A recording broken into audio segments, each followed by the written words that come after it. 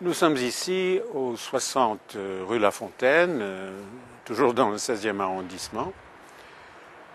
Et nous sommes devant l'hôtel Mézara. Mézara était un mania du textile et un artiste qui se trouvait être ami d'Hector Guimard, à qui il a commandé un hôtel particulier qui était en même temps euh, son bureau pour son affaire de textile.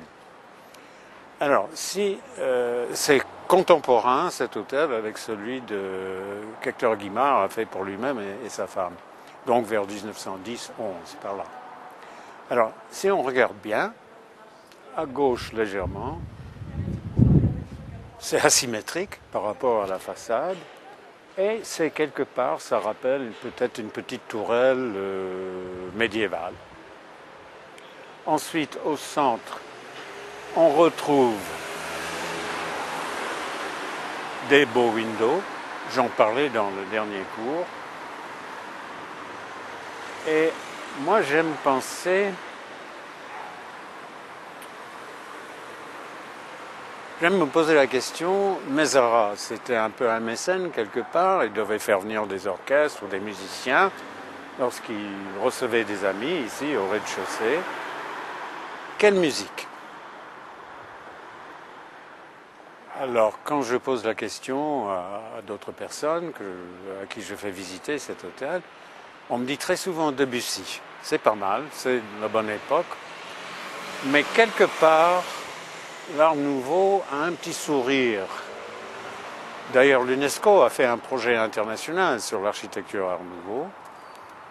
Et le sous-titre du projet, c'était une architecture souriante.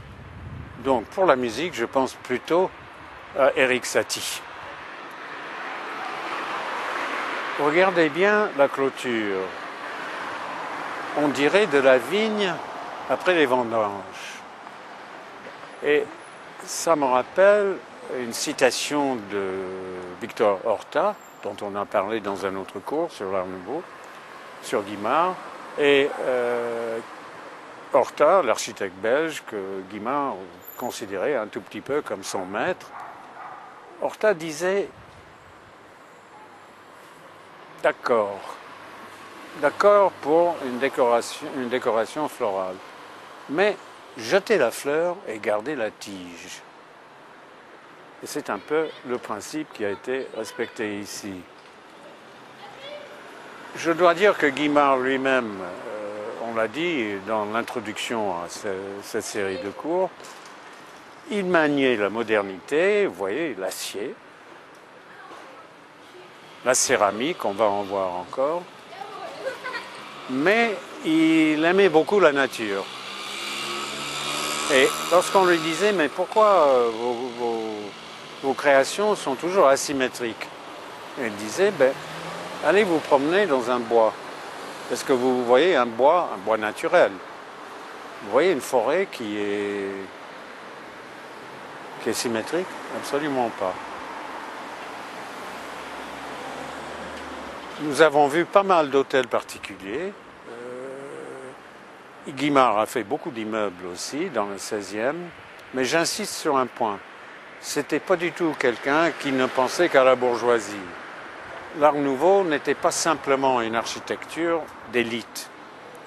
Et pour terminer cette série, nous allons voir un peu le bouquet de ces cours, le dernier, sur euh, le Castel Béranger, qui n'est pas très loin d'ici, toujours rue La Fontaine, qui était conçu comme un immeuble d'appartements à loyer modéré. Les entourages du métro, c'est également quand même une certaine forme de populisme. Et il faut penser aussi que Victor Horta, à Bruxelles, a fait entre autres créations, le siège du Parti socialiste, la Maison du peuple. Alors, à tout à l'heure pour le dernier cours dans cette série sur Hector Guimard.